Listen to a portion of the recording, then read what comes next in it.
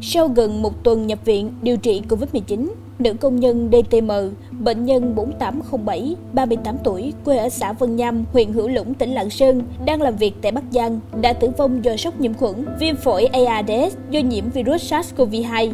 Chiều ngày 24 tháng 5, nhận thông tin con gái vừa qua đời vì Covid-19, bà T, 60 tuổi, mẹ của chị M, không khỏi xót xa vì không thể gặp được con lần cuối.